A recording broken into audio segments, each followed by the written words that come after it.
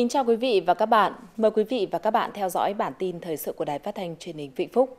Thưa quý vị và các bạn, cùng với các địa phương trong cả nước, sáng nay ngày 5 tháng 9, trên 350.000 học sinh trong toàn tỉnh vui mừng phấn khởi tham dự lễ khai giảng, đón chào năm học mới sau 2 năm dịch COVID-19 diễn biến phức tạp Năm học này là năm trọng tâm triển khai nhiệm vụ đổi mới giáo dục bậc học phổ thông, thực hiện chương trình giáo dục phổ thông năm 2018 triển khai đối với các khối lớp 3, lớp 7 và lớp 10. Chương trình mới có một số điều chỉnh nhằm hướng tới mục tiêu phát triển phẩm chất và những năng lực cốt lõi cho học sinh. Trong sáng nay, các đồng chí lãnh đạo tỉnh ủy, Hội đồng Nhân dân, Ủy ban Nhân dân, Ủy ban Mặt trận Tổ quốc Việt Nam tỉnh đã đến dự lễ khai giảng, động viên, chúc mừng các thầy cô giáo và các em học sinh ở các nhà trường trong tỉnh. Tới dự lễ khánh thành công trình trường Trung học cơ sở Vĩnh Tường và khai giảng năm học mới của nhà trường có đồng chí Hoàng Thị Thúy Lan, Ủy viên Trung ương Đảng, Bí thư tỉnh ủy, Chủ tịch Hội đồng Nhân dân tỉnh, trường đoàn đại biểu Quốc hội tỉnh Vĩnh Phúc, đồng chí Vũ Trí Giang, tỉnh ủy viên, Phó Chủ tịch Ủy ban Nhân dân tỉnh.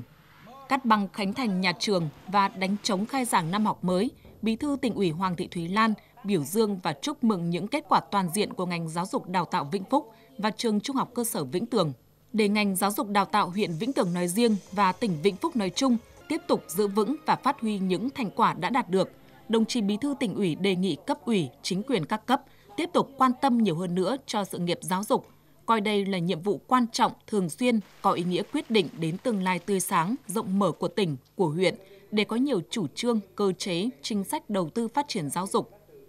Tiếp tục huy động cả hệ thống chính trị tham gia vào sự nghiệp trồng người, thực hiện thắng lợi nghị quyết số 10 của Ban chấp hành Đảng Bộ tỉnh về phát triển giáo dục Vĩnh Phúc giai đoạn 2021-2025, tầm nhìn đến năm 2030, góp phần nâng cao chất lượng nguồn nhân lực, xây dựng con người Vĩnh Phúc hướng đến chân thiện mỹ.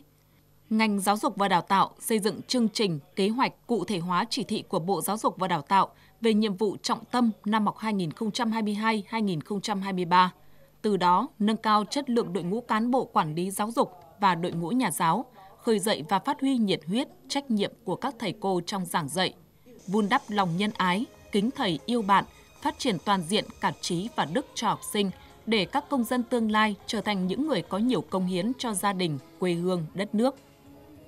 Đối với thầy và trò trường Trung học cơ sở Vĩnh Tường, trong năm học đầu tiên được giảng dạy và học tập trong ngôi trường mới, đồng chí Bí thư tỉnh ủy đề nghị các thầy cô giáo và các em học sinh tiếp tục nỗ lực dạy tốt, học tốt, giữ vững vị trí dẫn đầu trong khối trung học cơ sở của tỉnh về chất lượng giáo dục. Ban giám hiệu nhà trường có kế hoạch quản lý, khai thác và sử dụng hiệu quả cơ sở vật chất được đầu tư xây dựng cảnh quan nhà trường xanh, sạch đẹp, đáp ứng nhu cầu dạy và học theo hướng hiện đại của giáo viên và học sinh. Dự lễ khai giảng năm học mới và đón bằng công nhận đạt chuẩn quốc gia mức độ 2 tại trường tiểu học Nam Viêm, phường Nam Viêm, thành phố Phúc Yên – đồng chí Phạm Hoàng Anh, Phó Bí thư Thường trực tỉnh ủy, biểu dương những thành tích mà thầy và trò trường tiểu học Nam Viêm đạt được trong năm học vừa qua và mong muốn thầy và trò nhà trường tiếp tục phát huy nội lực, khắc phục khó khăn, tranh thủ sự ủng hộ từ địa phương và các tổ chức xã hội, thực hiện thắng lợi nhiệm vụ năm học 2022-2023, tiếp tục giữ vững và phát huy những thành tích đã đạt được, làm dạng dỡ thêm thành tích giáo dục tỉnh nhà. Nhân dịp này, Phó Bí thư Thường trực tỉnh ủy Phạm Hoàng Anh – đề nghị các cấp ủy đảng, chính quyền địa phương quan tâm đầy đủ, tạo điều kiện tốt nhất, ưu tiên cho sự nghiệp phát triển giáo dục đào tạo. Đánh chống khai trường và phát biểu chúc mừng tại lễ khai giảng năm học mới 2022-2023 của trường Trung học phổ thông chuyên Vĩnh Phúc, đồng chí Lê Duy Thành, Phó Bí thư tỉnh ủy, Chủ tịch Ủy ban nhân dân tỉnh, Chủ tịch Hội khuyến học tỉnh, Chủ tịch Quỹ khuyến học khuyến tài tỉnh Vĩnh Phúc chúc mừng thành tích nhà trường đạt được trong năm học 2021-2022. Chủ tịch Ủy ban nhân dân tỉnh Lê Duy Thành mong muốn năm học mới, trường Trung học phổ thông chuyên Vĩnh Phúc tiếp tục duy trì nằm trong top đầu cả nước về chất lượng giáo dục, đạt nhiều giải cao trong các kỳ thi quốc gia, quốc tế. Các thầy cô giáo thổi vào học sinh khát vọng chinh phục tri thức để trở thành những công dân toàn cầu. Các em học sinh nỗ lực cố gắng nhiều hơn để vươn tới những đỉnh cao mới, trở thành những chiến binh có tư duy đột phá, là những người dẫn đầu làm dạng danh quê hương Vĩnh Phúc, xứng đáng là học sinh ưu tú của ngôi trường giàu truyền thống, xứng đáng với niềm tin, sự quan tâm của Đảng bộ, chính quyền và nhân dân tỉnh.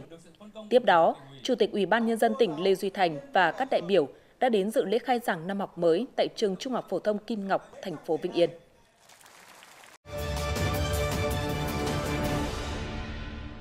Hoạt động theo phương châm thấu hiểu lòng dân, tận tâm phục vụ, 20 năm qua, Phòng Giao dịch Ngân hàng Chính sách Xã hội huyện Tam Đảo đã và đang triển khai thực hiện hiệu quả các chương trình tín dụng chính sách, trở thành điểm tựa vững chắc cho người nghèo và đối tượng chính sách. Từ nguồn vốn vay đã giúp cho người nghèo và các đối tượng chính sách đồng bào dân tộc thiểu số trên địa bàn huyện có thêm nhiều việc làm mới, tăng thu nhập, cải thiện đời sống, vươn lên thoát nghèo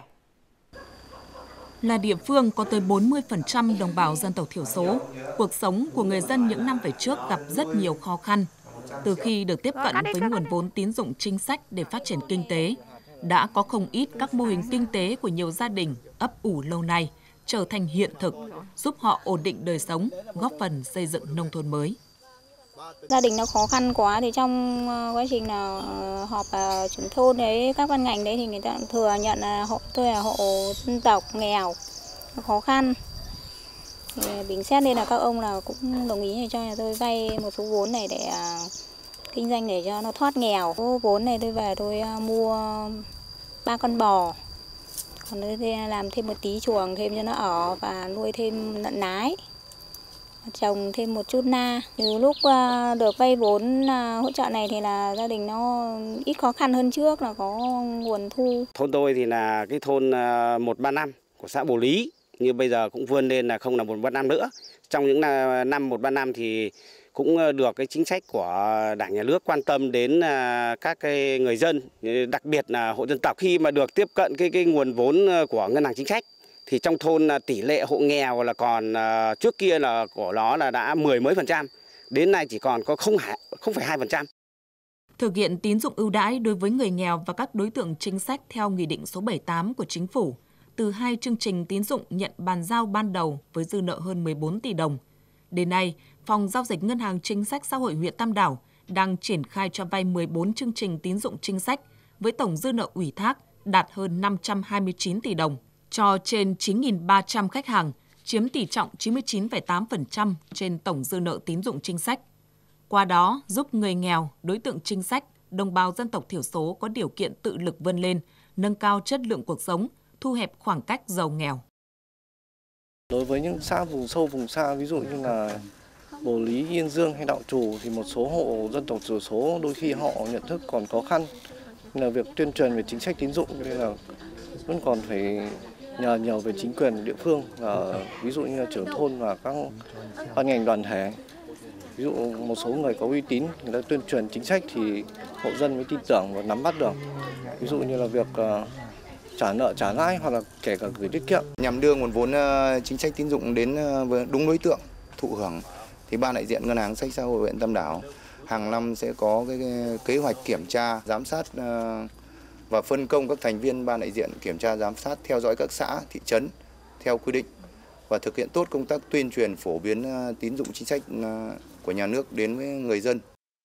Để vốn tín dụng chính sách đến được đúng đối tượng thụ hưởng và phát huy hiệu quả, Ngân hàng Chính sách Xã hội huyện tiếp tục tham mưu cho cấp ủy, chính quyền chỉ đạo triển khai thực hiện tốt chỉ thị số 40 về tăng cường sự lãnh đạo của Đảng đối với tín dụng chính sách xã hội, chú trọng kiểm tra, giám sát tại cơ sở cũng như các tổ chức chính trị xã hội nhận ủy thác nhằm bảo đảm công khai, minh bạch, sử dụng hiệu quả nguồn vốn, nâng cao chất lượng hoạt động của tổ tiết kiệm và vay vốn, tư vấn hướng dẫn người vay vốn mở rộng sản xuất, cách sử dụng vốn hiệu quả gắn với các mô hình kinh tế phù hợp điều kiện thực tế tại địa phương. Với sự phát triển mạnh mẽ của các sàn thương mại điện tử đã làm thay đổi thói quen mua hàng của người dân, việc đưa nông sản lên các sàn thương mại điện tử sẽ giúp nông dân, trang trại, hợp tác xã, doanh nghiệp bán được nhiều hàng hóa hơn, từ đó tối ưu hóa hoạt động sản xuất, tăng lợi nhuận, hiệu quả sản xuất, tham gia sâu hơn vào chuỗi giá trị. Linh hoạt và nhạy bén trong khâu bán hàng, công ty trà hoa vàng Tam Đảo đã lựa chọn sản phẩm trà túi lọc và hoa trà hoa vàng. Đây là hai sản phẩm chủ lực của đơn vị với sự đầu tư bài bản về chất lượng cũng như mẫu mã sản phẩm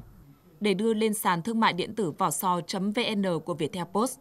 Nhờ đó, công ty không chỉ được quảng bá sản phẩm mà càng có thêm kênh bán hàng hiệu quả. Khách hàng thao tác đặt hàng đơn giản, tiện lợi, giao hàng nhanh, nên sản phẩm của công ty tiêu thụ tốt hơn từ khi tham gia sàn thương mại điện tử. Đến nay, Vĩnh Phúc đã có hơn 143 gian hàng của nhiều doanh nghiệp, hợp tác xã nông nghiệp đã đưa lên sàn thương mại vỏ sò.vn như công ty cổ phần ong Tam Đảo, hợp tác xã chăn nuôi bò sữa Tam Đảo, công ty trà hoa vàng Tam Đảo, Hợp tác xã rau an toàn Vĩnh Phúc. Trung bình mỗi tháng, Viettel Post chốt hàng trăm đơn hàng giúp doanh nghiệp, hợp tác xã tăng thu đáng kể. Cái kết quả hiện tại là đang là rất là tốt với cái số lượng sản phẩm đưa lên rất là nhiều và cái lượng người truy cập à, sử dụng không những ở trên địa bàn tỉnh Vĩnh Phúc mà trên toàn quốc à, rất là lớn thì mang lại cái hiệu quả rất lớn trong cái việc mà tiêu thụ các cái sản phẩm của địa phương và cái thứ hai nữa là cũng giúp cho bà con trong cái vấn đề mà tiếp cận không những là cái thị trường ở tại xã phường nơi mà mình đang sinh sống mà còn có một cái lượng khách hàng trên toàn quốc. Việc tiêu thụ nông sản trên sàn thương mại điện tử không chỉ giúp nông dân quảng bá sản phẩm, mở rộng thị trường, thúc đẩy phát triển sản xuất. Về lâu dài, đây là kênh tiêu thụ nông sản an toàn, hiệu quả, bền vững, bảo đảm giá cả, giúp gây dựng thương hiệu cho hàng nông sản của tỉnh.